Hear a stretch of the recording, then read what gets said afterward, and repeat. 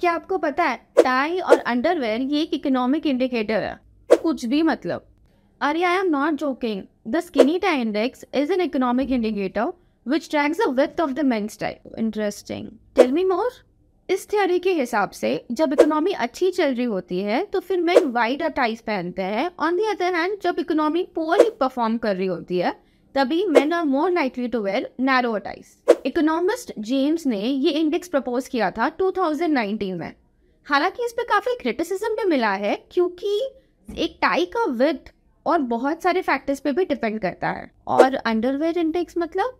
हाँ तो sir underwear index theory is based on the idea कि मैं ना more likely to buy new underwear जब वो बहुत कॉन्फिडेंट है और ऑप्टोमिस्टिक है अपने फ्यूचर को लेकर। इसका मतलब है when economy is doing well तो उनके पास ज़्यादा डिस्पोजेबल इनकम है और वो ज़्यादा सिक्योर भी फील कर रहे हैं अपनी जॉब को लेकर। तो फिर वो ज़्यादा अंडरवेयर खरीद सकते हैं। ऑन द अदर हैंड वो न्यू अंडरवेयर नहीं खरीदते when they worried about the job security and income बहुत सालों से इकोनॉमिस्ट ये इंडिकेटर्स पे स्टडी कर रहे हैं और बहुत एविडेंस भी है इसे प्रूव करने के लिए।